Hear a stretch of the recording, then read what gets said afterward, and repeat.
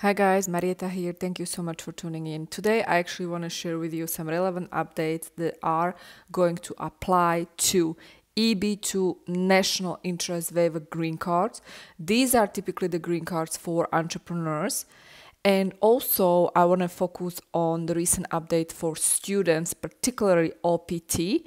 Now, there are people who ask me recently, how can I go from a student to business owner, investor. So for those who are wondering, and actually for those who want to take the exact same path that I took myself, how I went from a student to E2 investor and then green card via entrepreneurship, I call it EB2 national interest waiver. Uh, which I will give you the update in this video. First things first, I do want to uh, actually tell you to watch my story because in this playlist, you simply go to my YouTube channel, scroll down, and you're going to find a playlist called My Story from F1 to E2 to EB2 National Interest Waiver. So here are a couple of videos uh, that I made for you guys. Uh, and as you can see, here is three part videos where I was able to break down for you guys how I went from a student to investor then, how I went from E2 investor to green card. And this green card is the EB2 national interest green card, national interest waiver green card that I want to talk about today. And I want to give you update because this is actually great news specifically for entrepreneurs. But before we talk about the green card, I want to talk about the recent update when it comes to uh, OPT students. So, the good news is that they are extending the OPT up to 36 months. 36 months to complete optional practical training if you are a student uh, earning bachelor's degree, master degree or doctorate degree in certain STEM fields.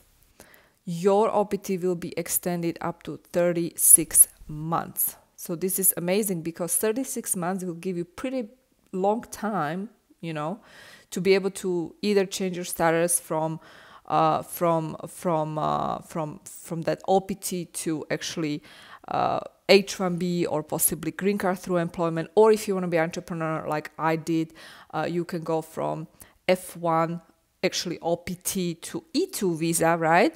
And eventually you can do the EB2 national interest waiver path, exactly what I've done myself. Now, just so you know, the EB2 national interest waiver, I do have specific playlist just on this topic. If you are interested, you can go there. Here we go. Green card for entrepreneurs.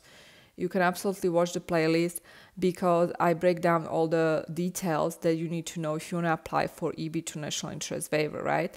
Uh, it is pretty strict green card category. I'm not going to lie to you. The reason it's difficult is because it's very subjective and uh, it's not black and white. It's not that straightforward. However, um, what is good about this recent update is that um, here it is actually national interest waivers for certain immigrant categories with exceptional abilities in their field of work. So basically, in order for you to get that national interest waiver, and not you don't need actually employer for that. Uh, you can do it without employer. Here you can see that. That's exactly what I've done myself and you can waive the job requirement and you don't need perm, right? You can certainly do that if you qualify, if you're exceptional in the field, or if you have master degree or advanced degree, or you're a member of profession. And on top of that, you meet the additional three-prong test, which I am breaking down in that playlist that I recommended. However, the recent update is that here it is. USCIS policy update clarifies how the national interest waiver can be used for persons with advanced degree in STEM field, okay, and entrepreneurs, as well as the significance of letters from governmental and quasi-governmental entities. So really what is this what is this about is that they're extending that to STEM fields, right? And more of you will have opportunity to apply for national interest waiver. If you're an entrepreneur, certainly you can definitely do that. And people always ask me how I done it, right?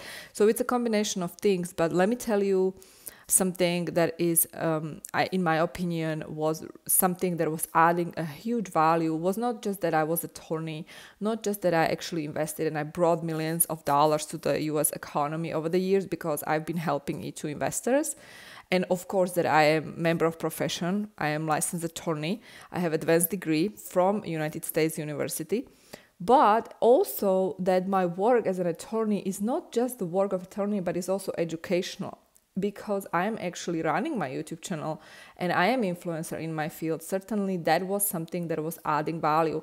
So if you are influencer maybe you have a significant um, you know amount of subscribers on your youtube channel. Maybe you have uh, amount of subscribers significant amount of subscribers on your uh, on your instagram account and you are serious influencer in your niche you could qualify for EB2 national interest waiver. So these are great news, guys. Um, like I suggested, go ahead, check out those playlists, my story here, as well as the playlist concerning EB2 National Interest Waiver, which is actually this playlist here. And if you need my help, you can book a consultation. The link to book it is going to be below this video. And other than that, thank you so much for tuning in. If you're new here, make sure to subscribe, and I will talk to you later. Bye.